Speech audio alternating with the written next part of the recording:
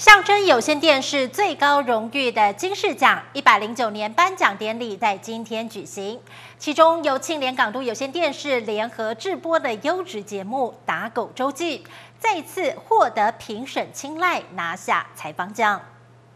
来的采访奖呢，我们就先来看看入围的有。